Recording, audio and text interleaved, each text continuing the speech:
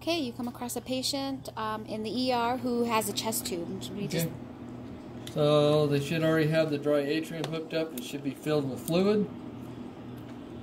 And this is the water, the wet atrium, not the dry atrium. So if it does get tipped over, uh, water can diffuse into the blood and mess with our setting. But it should have water. Should have a blue fluid solution that should be to that dotted line.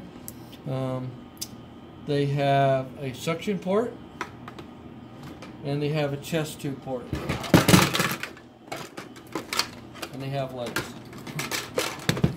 So if they're dry, they have to stay in an upright position. Is not as important, but if they're wet, they have to stay in the upright position. Um, chest tube, make sure your chest tube is secured in the patient, and it is a spiral wrap and a spiral wrap backwards, so there's two um, onto the chest tube. Up to suction, this is doctor's orders on what he wants the suction at. Um, uh, we have it up to continuous suction, and we usually want about 15 on it. 10 to 15 is usually where they'll ask for, but like I said, it's doctor's orders on where they do it. Uh, some of these have a check mark, and as long as you have a check mark, you show you have suction onto your machine. Um, there is another lower port which is strictly fluid withdrawal port. It is not for really transport or anything that we can hook up to.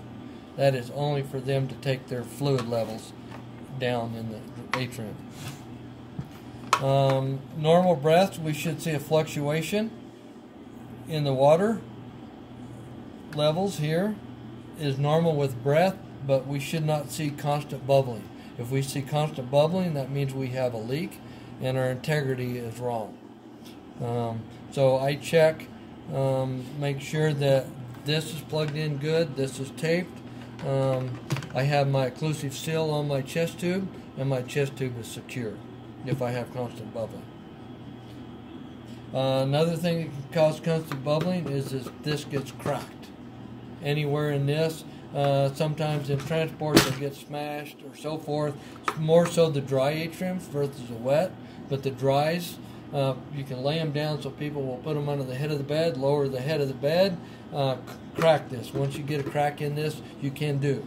A quick resolve for that is take your Vaseline or your your your gauze that you use for your ultrasound, rub it through the crack and cover it up, and hopefully you can get to the facility because we do not carry these as deal. Um, I worry more about stopping the little bubbling and just letting the bubbling happen if we have to, as long as we know that we can stop the bubbling and we don't have a faulty tubing or somewhere that got pinched or cut. Um, last ditch effort, uh, we can always shut it off and go back to bagging the patient if we need to. all right? Um, measurement of fluids. This is this side is not drained. This side should stay, and this side should be the collection of fluids. Okay.